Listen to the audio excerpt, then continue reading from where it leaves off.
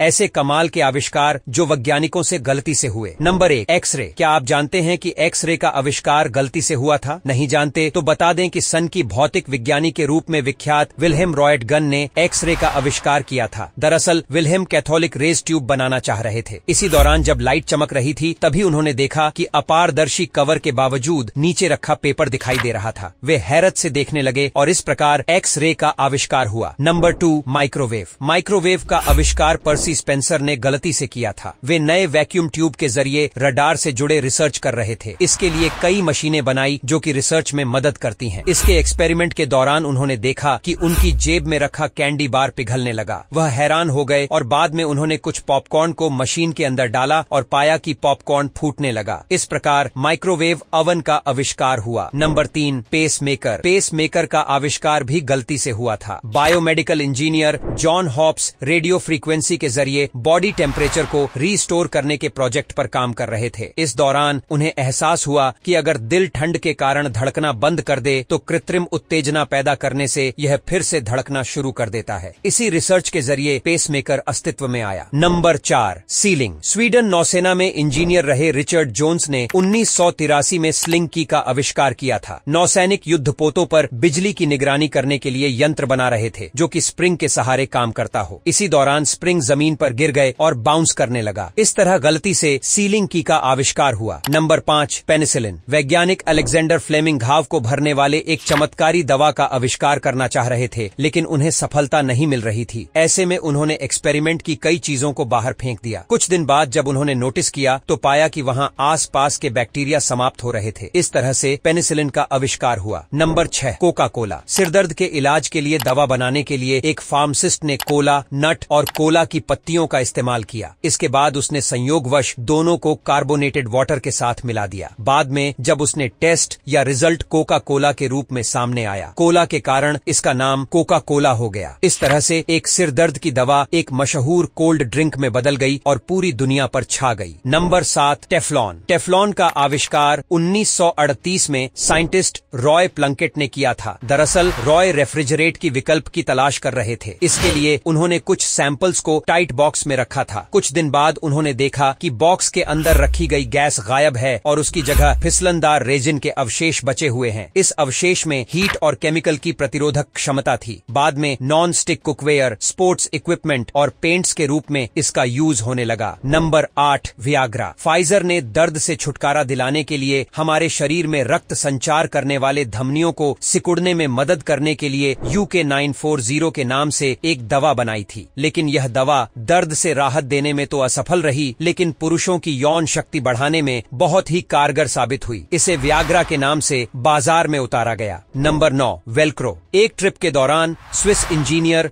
George de Mestral ने अपने pant से कुछ बीजों को चिपके देखा। उन्होंने पाया कि किसी भी लूप के आकार वाली वस्तु से चिपक जाती है। ऐसे में उन्होंने कृत्रिम लूप तैयार की और परिणाम स्वरूप वेलवेट और कॉर्सेट के कॉम्बिनेशन से वेलक्रो बना। नंबर दस, पटेटो चिप्स। अठारह सौ तिरपन में जॉर्ज क्रम नाम के शेफ अपने कस्टमर के लिए फ्रेंच फ्राइज तैयार कर रहे थे। कस्टमर ने कहा कि फ्रेंच फ्राइज थोड़ी पतली और कुरकुरी हो। जॉर्ज ने ऐसा ही किया और इस तरह से पोटैटो चिप्स बनी। आज के लिए बस इतना ही मिलेंगे। नेक्स्ट वीडियो में तब तक के लिए बाय